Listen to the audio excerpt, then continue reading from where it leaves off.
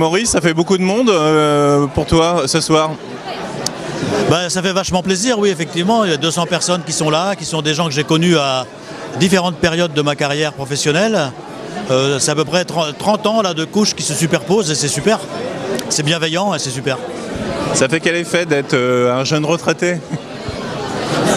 Je ne suis pas encore retraité, puisque je quitte mes fonctions le 31 décembre, mais effectivement je vais vers ça ça fait un effet, euh, j'allais dire, d'une banalité euh, un, peu incroyable, puisque c'est quelque chose qui est prévu pour moi. C'est un moment de ma vie. Je me suis beaucoup, beaucoup épanoui dans mon travail, énormément. J'ai eu plein de satisfaction, je suis comblé.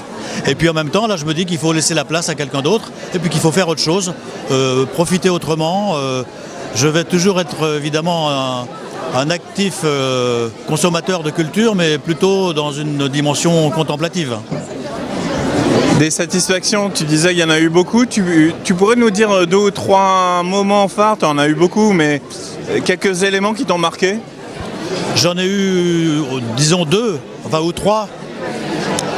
Euh, une très belle expérience pour moi, ça a été l'aventure du Carré à Château-Gontier, donc euh, la réhabilitation d'un patrimoine bâti du XVIIe siècle pour en faire un centre culturel et un théâtre des Ursulines remarquable qu'on a inauguré en 99. Et puis c'est devenu donc une scène nationale on a aussi construit un centre d'art contemporain qui fonctionne toujours aujourd'hui. Ça, c'était une aventure formidable sur 15 ans. Après, il y a l'aventure de Rosé avec l'Arc.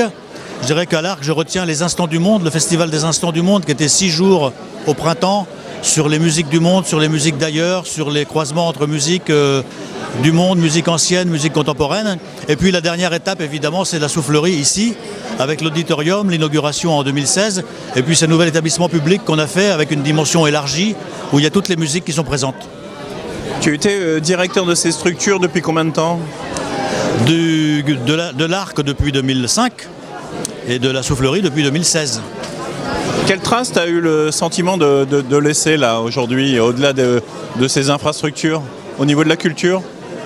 Bah, J'ai le sentiment surtout de laisser euh, des équipements, des établissements et des équipes qui, sont, qui marchent très bien, euh, avec un public fidèle, beaucoup, beaucoup de public, il reste des chantiers à construire évidemment. J'ai le sentiment d'avoir, je pense d'avoir fédéré autour de moi des équipes, j'ai l'impression d'avoir ce talent-là, modestement je dis ça, mais certainement, euh, de pouvoir entraîner les gens, en leur faisant confiance et en étant aussi toujours maître du jeu. Alors qu'est-ce qu'on peut te souhaiter pour euh, ta nouvelle vie? Bah, On peut me souhaiter d'être toujours aussi curieux, je pense. Euh, moins dans l'action, mais plus dans la découverte personnelle. Merci.